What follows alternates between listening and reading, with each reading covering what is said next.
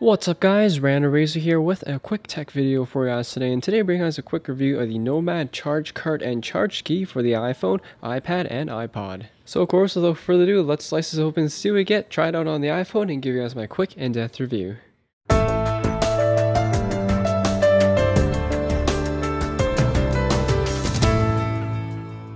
So basically the charge card and charge key come as very simple cardboard, I would say uh, envelope here, and just pops open like so. So basically it has specs on both the charge card and charge key, more information about the company, and here's the charge card. And that looks like that's pretty much all we get.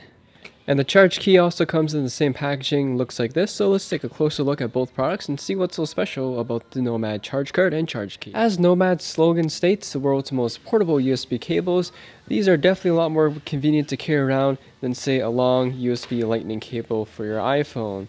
So with the charge card here, like a debit card or credit card or whatever, you can slip right into a wallet like so, folds flat, and you're pretty much good to go.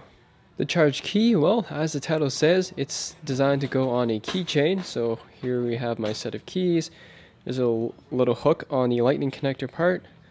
Goes around like so. And now you have a charger with you always on your set of keys. You just grab your iPhone here, plug it in. As you guys can see, it still fits even with my set of keys on. And this is just the USB um, charging port. So Here's my USB charger. Make sure the metal side is facing the uh, larger uh, bottom portion of the USB port. Folds in like, or goes in like so, plug it in, and you're pretty much set to go. Here's a quick demonstration of the charge card. Plugs into your iPhone like so. And this part here actually just pops out, flips open. We'll grab the USB charger here, plugs in like so, and that is the charge card.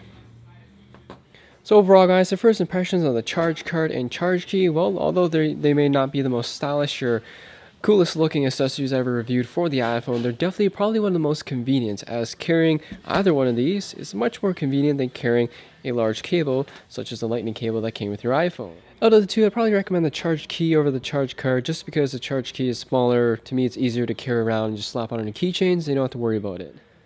In conclusion guys, if you're looking for a second lightning cable and want something really convenient to take around with you as a backup uh, emergency sync or charging cable for your iPhone or other iDevice, you definitely can't go wrong with the charge card or charge key.